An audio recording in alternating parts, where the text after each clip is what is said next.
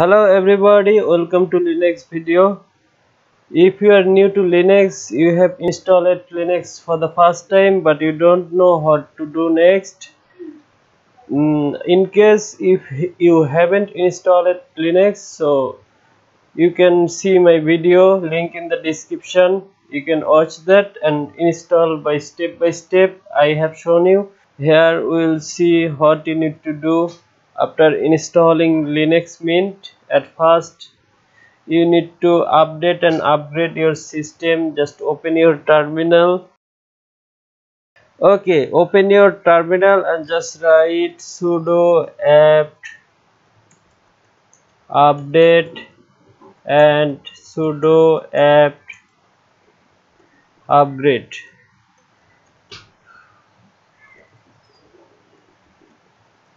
upgrade. It will ask you for the password. This is the password of your computer that you set when you installed it.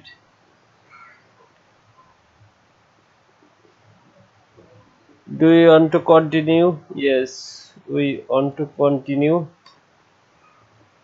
It will take long time. Just wait until the process is finished once update and upgrade is done next thing we are going to do is time shifting. It is a advanced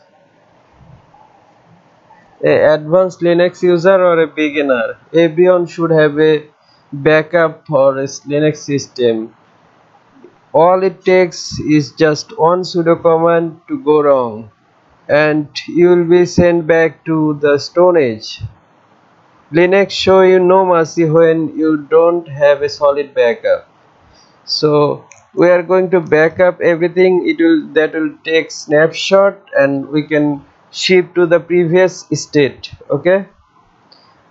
By using timeshift we are going to do that. Installing timeshift is very easy. Just run the command sudo apt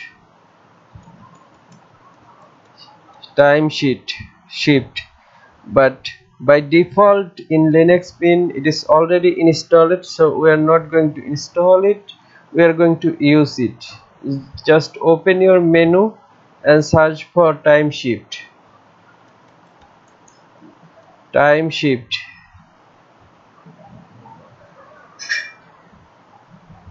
it will ask you for your password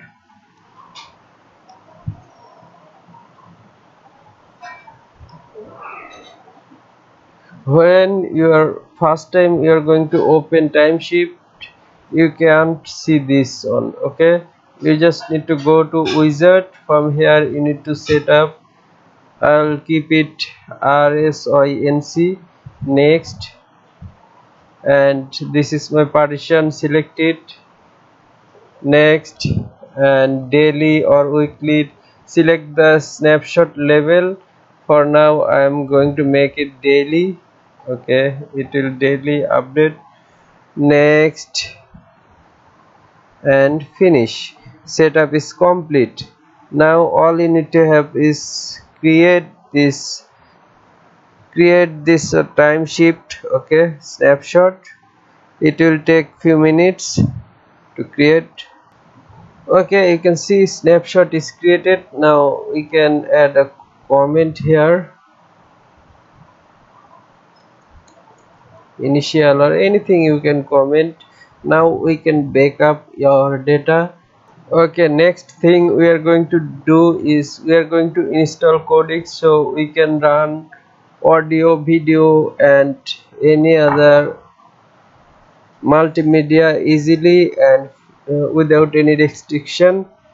Okay just search for linux mint Codecs. From here you can see um, mint metacodecs just click here. From here we are going to install it. So our audio video and any other multimedia that can run smoothly. Uh, we can run it by using uh, open xdg open. It's saying package mint meta codecs is already installed in my system. If you haven't installed it then it it will go to install for you okay? Okay next step is to install some of the essential software that will, you will need to use every day in your life on linux okay?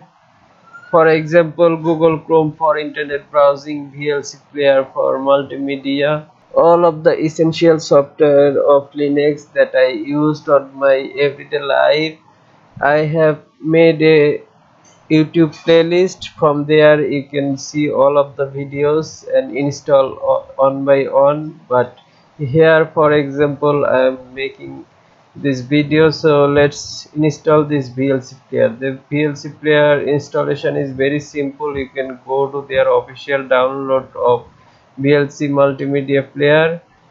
You can go there and see the command but here they are showing the option go for the linux. Linux installation. Uh, platform linux linux ubuntu. Click on this ubuntu.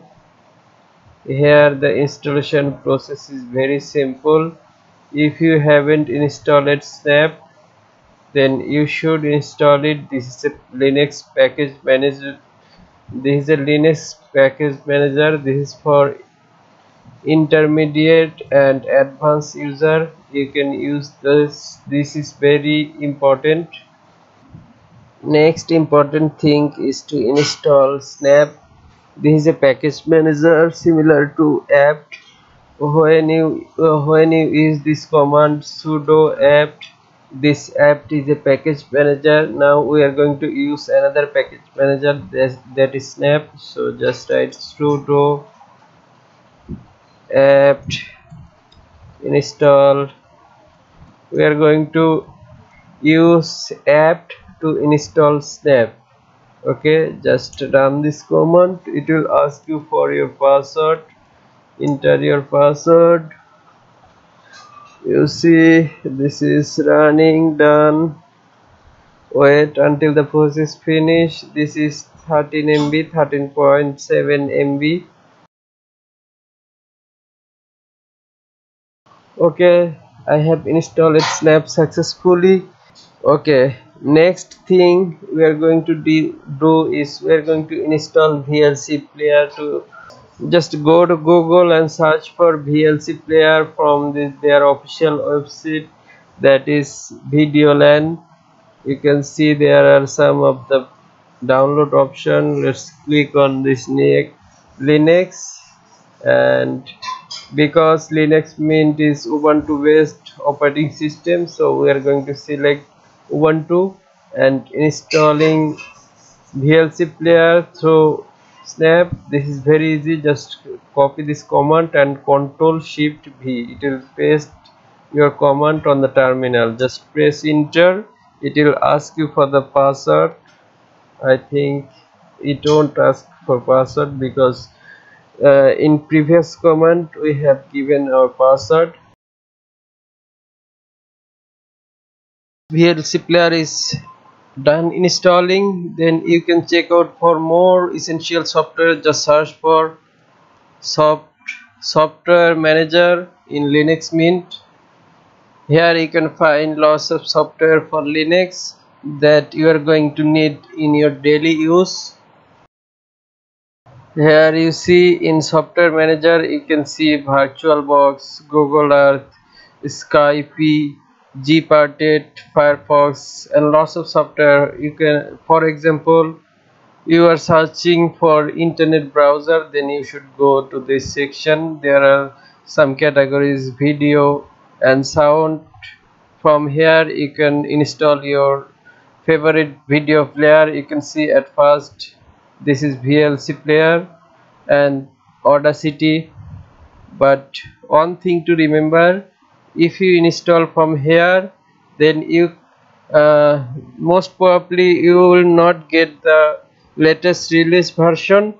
To get the latest release, release version I made a video tutorial series on that how to install essential software. From there I, I have shown you how to install the latest version for your linux okay? For example you want to install vim the process is very simple. Click on this vim and click on this install button. It will be installed uh, it may ask your password. Just enter your password okay? Now next thing i'm going to show you is set up your theme and desktop icons. So let's see. Go to this menu. From here just uh, go to preferences. In preferences look for themes themes. Here you see windows border. You can change windows border uh, to black you see this made black. Okay i want i want to make it black. And icon there are lots of different color for icon. I'm going to select purple for now. Control button.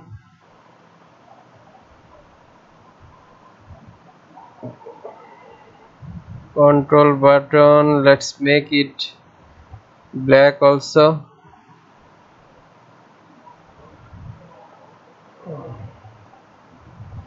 And mouse pointer. Also make it black because I like black. I also like white but it is more eye comfortable color. When you are spending lots of time on your desktop then you should use black instead of white okay? Now desktop theme you can see lots of theme out there. Linux mint. Now next step is night light effect. If you are a developer or a network expert then you should use this effect nowadays it is mandatory in any operating system or smartphone. Unfortunately in linux mint there is no option for that. So linux mint comes with the option that is redshift. This is an alternative of night light over here you can see an icon. Just right click on it. Make sure it is enabled and auto start after sunset it will be red to your operating system so it will be more comfortable to your eye okay? Okay next thing we are going to do is just click on this battery icon. We are going to configure our battery by showing the percentage and time remaining. You see on here you can see the percentage of our battery is 48 and time remaining 32 minutes. Now when it's done by default when you install linux mint for the first time you can see the sound is very low. You should increase it. It is a basic process. Next thing we are going to do is we are going to configure our firewall. When you are in home network you are already protected by your ISP firewall that is provided by your ISP internet service provider and your router is already protected by that firewall. But when you are at public network then you are unsecured. So what you need to do just search for firewall firewall configuration. It will ask you for the password. Enter the password. At least you just set up this to public so it will protect your public route next and the last thing comes in my mind is if you can find any bugs you should fix it by searching on google. Otherwise if any other bug you can find you can comment me down below. I'll try to help you out. So don't run your linux with any error. So just make sure you don't have any error. If have one then let me know or search on google there is a website that is called super user you can find lots of solution over there. And if you can't find there then you can post it here in the comment section. Okay that's all for this video tutorial. If you like this video please like comment and subscribe. Help me to grow my channel. Thank you. Thank you for your support guys